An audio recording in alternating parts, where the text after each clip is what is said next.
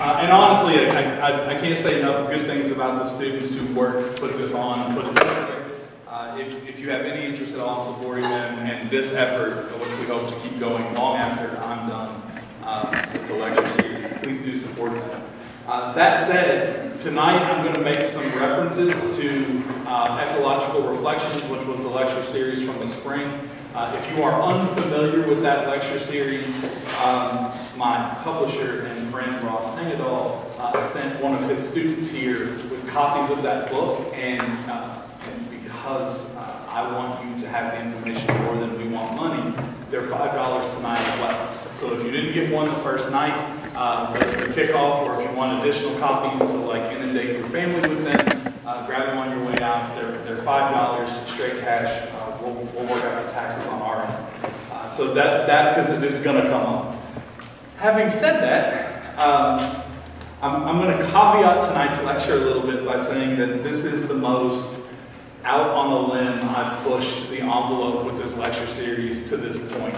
Uh, so it's a little longer uh, than normal. Uh, so just bear with me as I work through this because it's gonna it's gonna require a little bit more thoroughness than what we usually do before we get to the Q and A. Um, and uh, if you know me, know that this lecture is radically different than the ones normally because tonight there will be technology.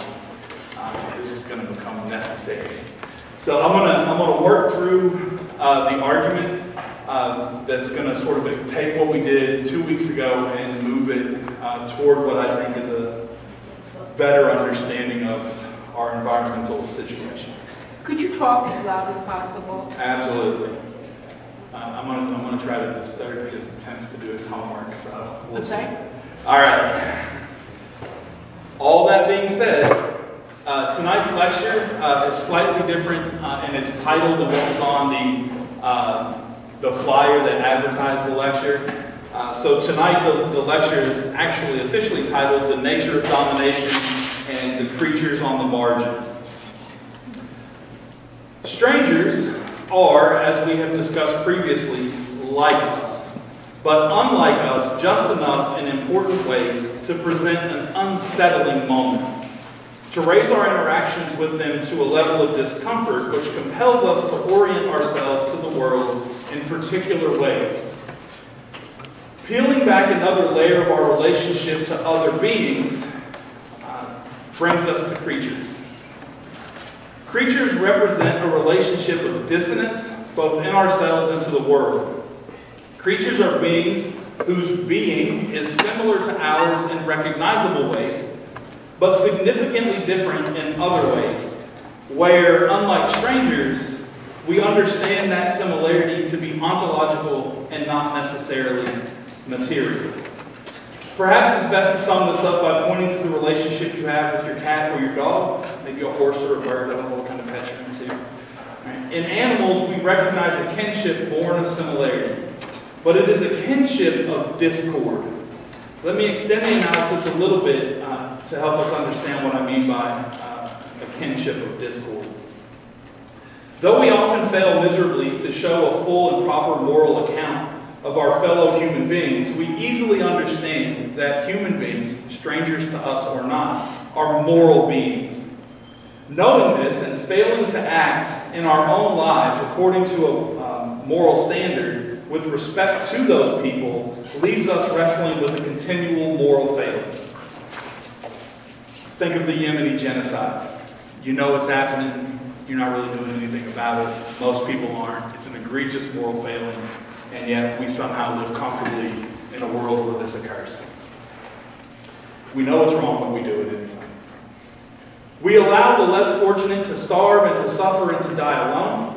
We allow for the murder and pillaging and rape of innocent people, cultures, and ecosystems in the name of profit. As we have discussed previously, we consume not just more than our share, but more than we need. We have moral failings woven into the tapestry of our lives so thoroughly that we have become comfortable living with them. But even to the most obtuse and callous individual, these are still recognizable wrongs. Toward our pets, we're able to muster a similar level of concern. often elevating that concern to a moral worldview that acknowledges the moral status of animals that we recognize as companions. Which is why we find the dog meat festival in Southeast Asia to be abhorrent, while many in China do not. There, canines are livestock. We have a much harder time doing so with those things that we have categorized as pests.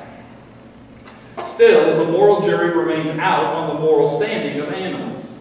Thinking back to our previous discussions, if we ought to alter our consumption patterns to account for others, giving animals moral standing equitable to our own would mean further recognizing our failure as moral beings and making more acute changes to our consumptive relationship to the world. Here I want to argue that what I am calling our existential crisis actually precedes our existential crisis precisely because of what these two explanations pick out as the heart of our individual and cultural malaise. For the existentialist, our problem is one of struggling to find purpose amid profound meaninglessness. But this seems to follow from a more problematic relationship to existence that develops out of disharmony. Here we will want to journey back to the rupture of humankind from other kinds. To do that, we will need to consider the foundational creation mythology of Western culture. Adam as that mythology's main character, and Adam's existential crisis. In the beginning, so we are told, primeval divinity created ex nihilo all that is, and perhaps there is something to be said of being fashioned from nothing that has left an indelible and unmistakable stain upon creation, which points us in the direction of both a deeper understanding of God as fallible and toward ourselves as hopelessly marred by dark desire. That is, it may turn out that creation is the original sin, and the question that remains is whether or not we can be redeemed through our own efforts. So let us consider then life after creation. On the sixth day, before God could pronounce everything good, there was a hiccup in the perfection of creation. Adam could not find a suitable companion among the inhabitants of. When God created Adam, he said, Let us create him in our image. We can table the us aspect and wonder at what image God created Adam in, that Adam was understood to not need a companion. All the other creatures in Eden had reproductive companions, but we do not get the sense that Adam was looking for Nookie. Rather, there, is, there was a companionship that the other, excuse me, other inhabitants of Eden clearly had access to. That God was compelled to fashion from Adam a counterpart for this purpose suggests that creation, of on completion to God's satisfaction, was in fact unsatisfactory and incomplete from Adam's perspective. The critical aspect of this story is that Adam, who was made from the same formless nothingness that all of creation was brought forth from, could not find a counterpart in all of creation, in spite of their similarity. No being in all of Eden was compatible to Adam. This is, at least in part, reinforced by the fact that God grants Adam dominion over all the beasts, fishes, and fowl, so that even though they are all integral parts of creation, their ontological connection is more tenuous. So tenuous, in fact, that the dissonance between the creatures of creation required an addendum to creation. I would draw your attention back to the discussion in Ecological Reflections for a more thorough discussion of just what Adam's role in dominion was or could have been, and today how we should interpret it. I don't want to rehash that, it's in the book. Right? We can talk about it in Q&A if we need to. Of course, there is the lingering problem of Adam's first counterpart, Lilith. The interpretation of the biblical text suggests that God created a man and a woman from the dust when he finally got around to creating Adam. This female is unnamed in the text and is very quickly glossed over in favor of Eve in the next chapter, chapter 2. Uh, that there was discord between Adam and Lilith is the story presented in the alphabet of Ben Sira, which is a Judaic text, part of the Talmud, uh, Talmudic tradition. Lilith makes the claim that having been fashioned from the same stuff as Adam, she should be given fair treatment and consideration. One of the key sticking points is her insistence that she not always have to be on the bottom during sex. I point this out because it problematizes the idea that Adam was in the market for a companionship that was not merely reproductive. However, if you read the full account of Lilith's engagement with Adam, uh, then we can grant the story's premise that the two argued about other things as well. And then it is reasonable to assert that the discord in Eden found its primary locus not in Adam's unwillingness to explore the Kama Sutra, but in his stubborn refusal to acknowledge Lilith's equality at the level of both material and ontological being. Presumably, this problem supervenes on Adam's choice of a companion after the departure of Lilith because he could not find common ground with the beings that God fashioned for him.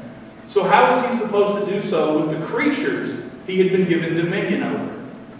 Adam's existential crisis begins at the point where he refuses to see himself as a part of Eden, or more broadly, as an equal member of the biotic community. If Adam's existential crisis begins after he eats forbidden fruit, it's safe to say his existential crisis was already in full swing by that point.